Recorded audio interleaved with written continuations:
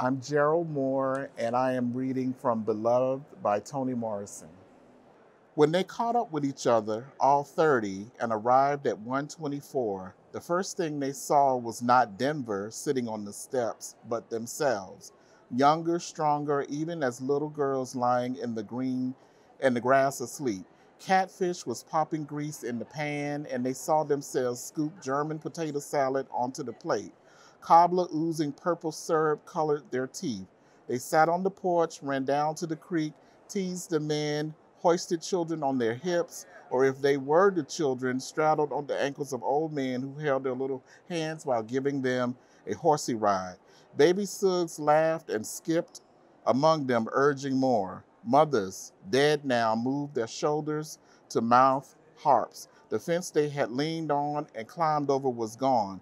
The stump of the butternut had split like a fan, but they were but there they were, young and happy, playing in Baby Suggs' yard, not feeling the envy that surfaced the next day. Denver heard mumbling and looked to the left. She stood when she saw them.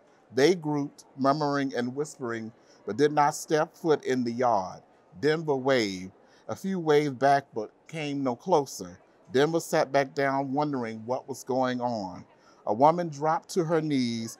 Half of the others did likewise. Denver saw lowered heads but could not hear the lead prayer, only the earnest syllables of agreement that backed it. Yes, yes, yes.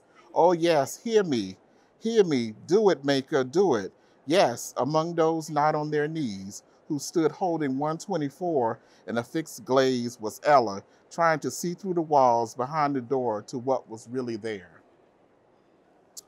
I chose this because this Toni Morrison, one of my favorite authors, and a lot of her books are, are challenged, um, but she uh, captures the Black experience in so many indelible ways. And I have always enjoyed um, her books. One of my favorite books by her is actually Song of Solomon, but Beloved is, is another one that I really enjoy.